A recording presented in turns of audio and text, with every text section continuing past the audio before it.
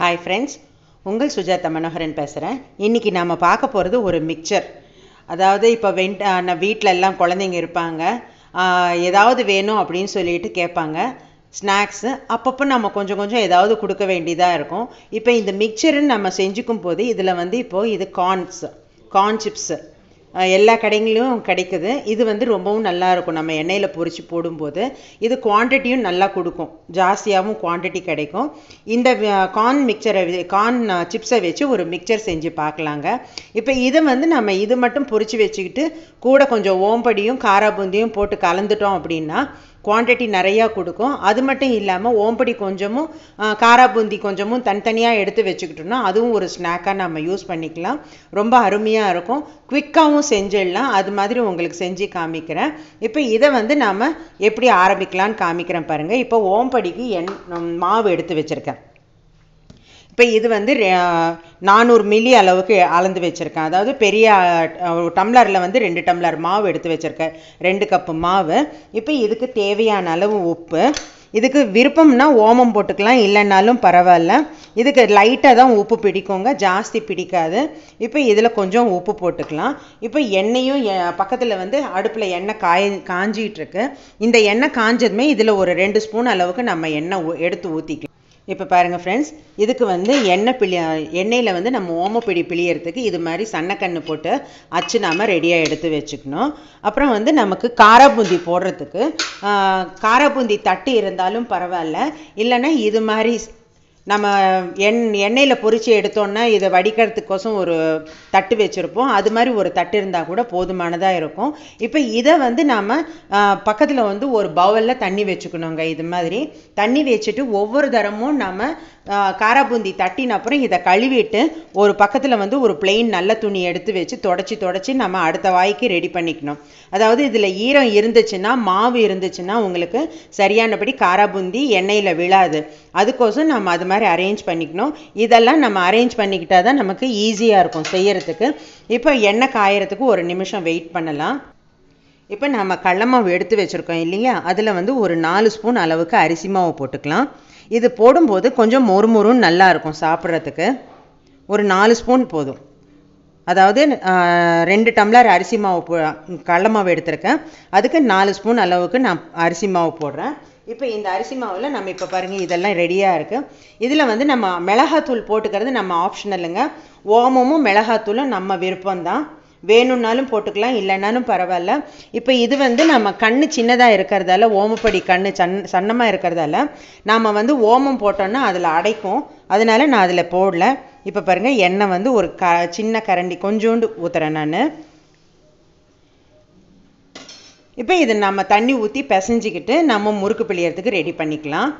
இப்போ பாருங்கள் ஃப்ரெண்ட்ஸ் இது வந்து எண்ணெயும் உப்பும் நான் கலந்து விட்டுட்டேன் நல்லா இதில். இது மாதிரி முதல்ல நம்ம பெசரிக்கணும். பெசரிக்கிட்டு அதுக்கப்புறம் நம்ம தண்ணி விடலாம். கொஞ்சம் கொஞ்சமாக தண்ணி விடுங்க. ரொம்ப ஒட்டா விட்டுட்டிங்கனாலும் கஷ்டமாயிடும். கெட்டி வராது உங்களுக்கு.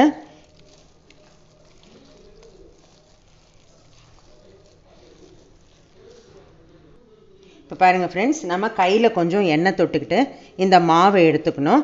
இப்போ இந்த முறுக்கு நாளிலையும் கொஞ்சம் எண்ணெய் தேய்ச்சி வைக்கணும். எண்ணெய் தேய்ச்சி வச்சுட்டு இப்போ நாம் இதை வந்து பிழியலாம் இப்போ இதுலேயும் நான் எண்ணெய் தேய்ச்சி வச்சுருக்கேன். இப்போ நம்ம இதை வந்து எப்படி பிழியறதுன்னு பார்க்கலாம் பாருங்கள்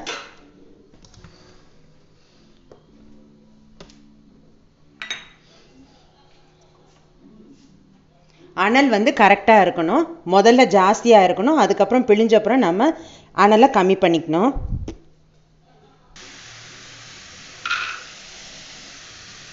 ரொம்ப சுலபமாக செஞ்சிடலாம்.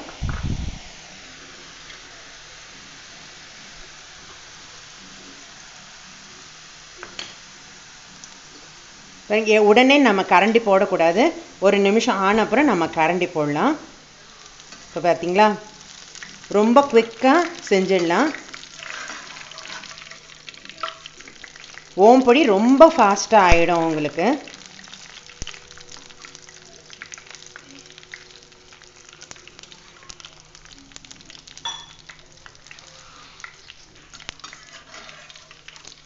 இவ்வளோதான் பார்த்தீங்களா எவ்வளோ குவிக்காக ஆயிடுச்சுன்னு சொல்லிட்டு சத்தம் நல்லா அடங்கிடுச்சு. இப்போ இதை நாம் எடுத்துடலாம். நல்லா எண்ணெயை வடிய விட்டு நம்ம எடுத்து வச்சோம் அப்படின்னா இதில் எண்ணெய் பசையே இருக்காது. நம்ம நம்ம வீட்டில் செய்யும்போது எண்ணெய் பசையே இருக்காததுக்கு காரணம் என்ன அப்படின்னா நம்ம ஒவ்வொரு தரமும் ஃப்ரெஷ் ஆயில் எடுத்து யூஸ் பண்ணுவோம். இதே கடைகளில் வந்து அவங்க ரிட்டர்ன் பண்ணி அதே ஆயிலில் செஞ்சுக்கிட்டே இருக்கிறதால கண்டிப்பாக அவங்களுக்கு அது மாதிரி தான் வரும். ஒன்றும் செய்யறதுக்கு முடியாது. ரொம்பவும் டேஸ்ட்டாக இருக்கும். இப்போ அடுத்தது வந்து நம்ம எப்படி காரா பூந்தி செய்கிறதுன்னு காமிக்கிறேன். இப்போ பாருங்கள் ஃப்ரெண்ட்ஸ் ஓம்படி வேலை முடிஞ்சிடுச்சு நம்ம இப்போ கடலமாவுக்கு கடலமாவு எடுத்திருக்கேன். இது வந்து காரா பூந்திக்கு காரா பூந்திக்கு வந்து கொஞ்சம் உப்பு மட்டும் போட்டுக்கலாம் நம்ம. இது வந்து நமக்கு சாஃப்டாக வேணும்னா இதில் வந்து அரிசி மாவு போட வேண்டியதில்லை. கொஞ்சம் மொறுமுறுன்னு வேணும் அப்படின்னா ஒரு ரெண்டு ஸ்பூன் அரிசி மாவு போட்டுக்கலாம். கொஞ்சம் மொறுமுறுன்னு இருக்கும் அவ்வளோதான் நல்லா இருக்கும் டேஸ்ட் இது ஒரு டைப்பாக இருக்கும். நம்ம லட்டு சாரி நம்ம லட்டு பிடிக்கிறதா இருந்தால் இந்த அரிசி மாவை அவாய்ட் பண்ணிடணும். இப்போ இதை வந்து நம்ம க லட்டு பிடிக்கிறது அப்படின்னா ரெண்டு கம்பி பாகு வர்ற மாதிரி சர்க்கரையை நம்ம பாகு வச்சுக்கணும். இப்போ இதில் நம்ம வந்து இப்போ எண்ணெயில் பொரிக்கும் போது இந்த கடல அரிசி மாவை அவாய்ட் பண்ணிடணும். நம்ம கரைச்சிக்கிறது இப்போ பார்த்துக்கலாம் பாருங்கள் அப்படியே நான் செய்ய செய்ய சொல்கிறோம் உங்களுக்கு. இதை வந்து நம்ம கொஞ்சம் தோசை மாவு பதத்துக்கு நம்ம இதை கரைச்சிக்கணும். இன்னும் கொஞ்சம் தண்ணி விட்டு நம்ம கரைச்சிக்கலாம். இப்போ பாருங்கள் ஃப்ரெண்ட்ஸ் நம்ம வந்து இது மாதிரி கரைச்சிக்கணும். மாவு வந்து கொஞ்சம் திக்காக பார்த்தீங்களா இது மாதிரி தோசை பாவு பதத்துக்கு நம்ம இருக்கணும் திக்காக இப்போ இதை வந்து நம்ம ரெடியாக பாருங்கள் எண்ணெய் ரெடியாக இருக்குது இப்போ இதை வந்து நம்ம இந்த ஜல்லடியை வந்து முடிஞ்சால் உங்களால் கைப்பிடி இருந்துச்சுன்னா கைப்பிடி பிடிச்சுக்கோங்க. இல்லைன்னா ஒரு இடுக்கியில் ப பிடிச்சுக்கோங்க. இடுக்கி இல்லைன்னா உங்களுக்கு கஷ்டமாயிடும். அனல் கையில் பட்டுச்சுன்னா உங்களுக்கு கஷ்டமாக இருக்கும். இப்போ நம்ம இது மாதிரி வச்சுக்கிட்டு அனல் இப்போ நான் கொஞ்சம் சேர்த்து வைக்கிறேன். இது வரைக்கும் அனல் கம்மியில் இருந்துச்சு. மாவு கலர்ற வரைக்கும். இப்போ இதில் வந்து ஒரு ரெண்டு டம்ளர் ரெண்டு கரண்டி இருக்கிற அளவுக்கு நம்ம ஊற்றணும் மாவு. இப்போ ஊற்றிட்டு நம்ம இது மாதிரி பாருங்கள் இப்படி தட்டணும். பார்த்தீங்களா குண்டு குண்டாக விழுதுங்களா? தேய்ச்சி விடக்கூடாது. மாவை தேய்ச்சி விடக்கூடாது. இது மாதிரி நம்ம தட்டணும்.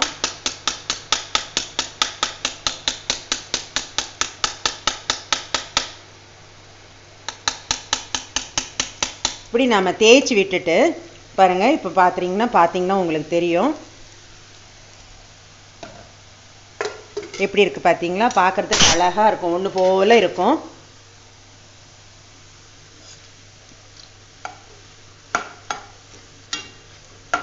இது கொஞ்சம் மாவு ஜாஸ்தியாக இருந்துக்கிறதால அதாவது ஊற்றின மாவு ஜாஸ்திங்கிறதால இப்போ இது மாதிரி ஒட்டிகிட்டு இதுவே அடுத்த வாய் வந்து கொஞ்சம் கம்மியாக ஊற்றினோம் அப்படின்னா அந்த எண்ணெய்க்கு தகுந்த மாதிரி உங்களுக்கு இருக்கும்.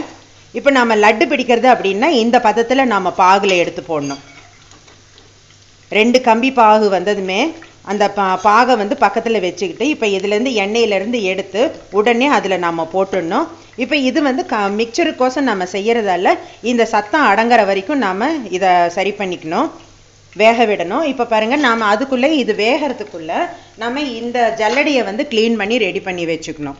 ஒவ்வொரு தரமும் இதை நல்லா சுத்தமாக எடுத்துட்டு மாவை எடுத்துட்டு இது மாதிரி மாவை எடுத்துடணும். மாவை எடுத்துட்டு பக்கத்தில் நான் கூட சொன்னேன் இல்லைங்களா? அது மாதிரி கூடையில் வச்சு க்ளீன் பண்ணி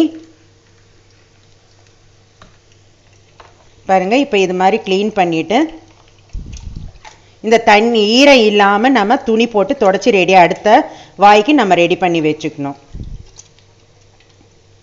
இப்போ தண்ணி சுத்தமாக இல்லாமல் இதை வந்து டவல் போட்டு நம்ம தொடச்சி வச்சுக்கணும். இப்போ பாருங்கள் அதுக்குள்ளே அடுத்த வாய் ரெடி ஆகிடுச்சி அடுப்பில். அது வெந்து போயிடுச்சு இப்போ நமக்கு. பாருங்க சத்தம் அடங்கிடுச்சு. இன்னும் ஒரு நிமிஷம் இருந்தால் போதுமானதாக இருக்கும். இந்த டைமில் வந்து நம்ம துணி போட்டு இதை தொடச்சி ரெடி பண்ணி வச்சுக்கிட்டோம் அப்படின்னா கரெக்டாக இருக்கும்.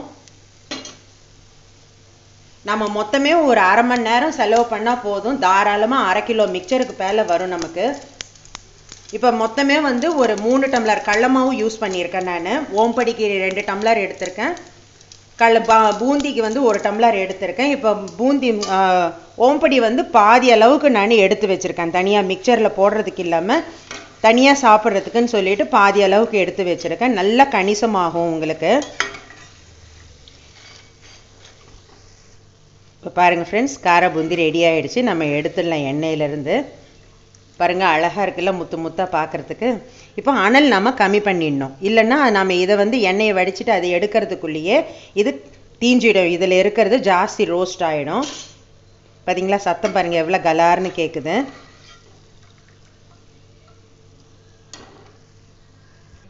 இப்போ பாருங்கள் ஃப்ரெண்ட்ஸ் காராபூந்தி ஆயிடுச்சு. இப்போ இதுக்கு வந்து நம்ம கார்ன்ஸ் இதில் பொரிச்சிடலாம். குவிக்காக ஆகிடும்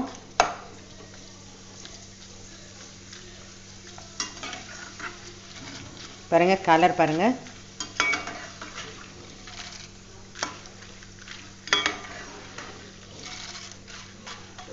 இப்போ நம்ம இதை எண்ணெயிலேருந்து எடுத்துடலாம்.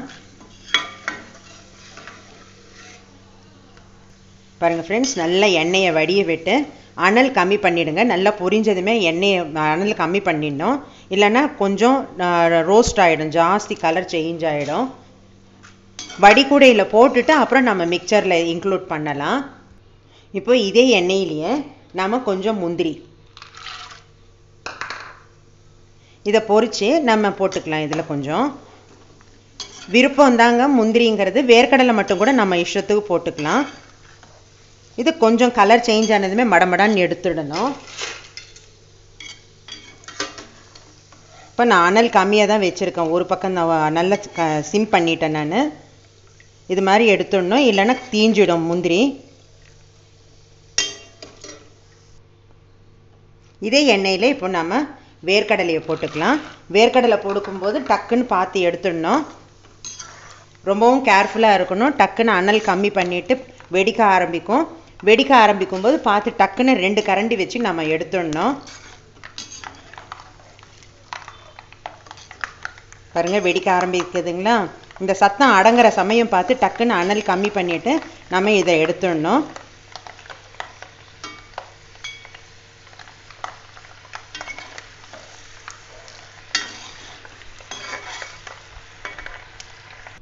இப்போ பாருங்கள் ஃப்ரெண்ட்ஸ் இதுலேயே கருவேப்பிலை கொஞ்சம் போட்டுக்கலாம். இப்போ அடுப்பை ஆஃப் பண்ணிடலாம் நாம்.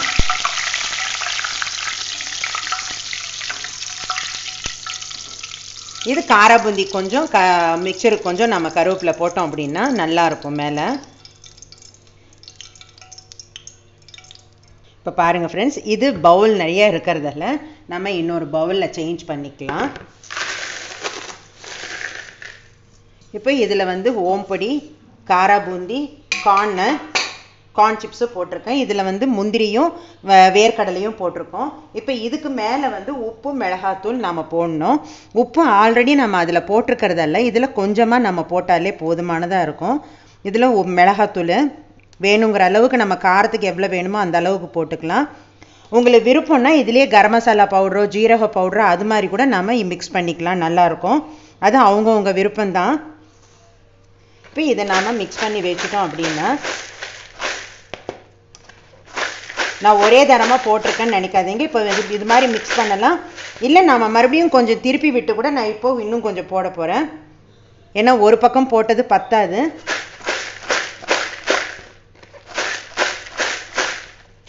நல்ல ஒரு வாசமாக நம்ம வீட்டிலேயே செஞ்சதால நல்லா இருக்கும் சாப்பிட்றதுக்கு.